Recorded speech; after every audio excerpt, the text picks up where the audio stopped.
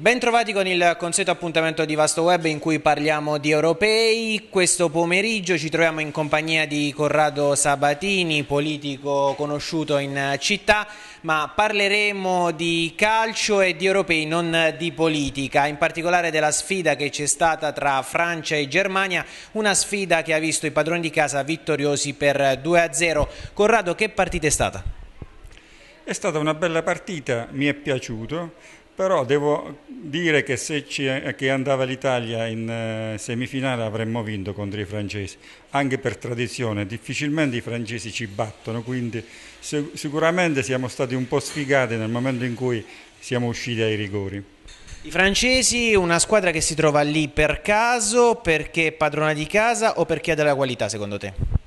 Ah, I francesi normalmente quando organizzano una cosa lo organizzano e se lo vincono pure, sono sempre stati così perché è un popolo patriottico, quindi hanno sempre cercato di... La, la grande R, la grande R è proprio una questione francese.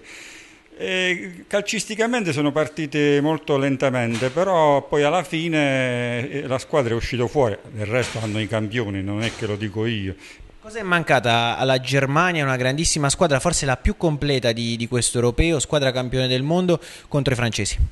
Secondo me la Germania per la prima volta ha messo in campo una squadra che oltre alle doti atletiche aveva anche delle doti tecniche eccellenti.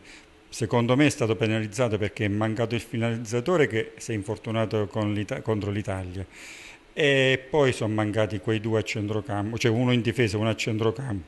È mancato le tre persone più importanti nei rispettivi ruoli, difesa, centrocampo e attacco. Avendo visto la partita di ieri, quanto rammarico c'è ad essere usciti così in uh, malo modo, forse in maniera sfortunata contro la Germania a rigori?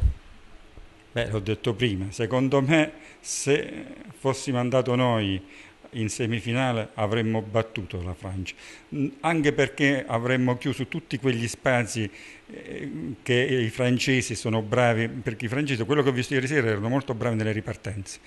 Eh, sul campo libero loro avevano delle persone, molto, dei giocatori molto veloci che si inserivano. Contro di noi quel gioco non è che lo riuscivano a farlo. Portogallo-Francia è la finale, chi vincerà questi europei? Se devo dare una, una previsione a questo punto, la Francia nel momento in cui è andata in finale penso che lo vinca. Bene, ringraziamo Corrado Sabatini per essere stato con noi, eh, non resta che salutarvi e mi raccomando continuate a seguirci con gli appuntamenti di Vasto Web con gli europei. Grazie, arrivederci.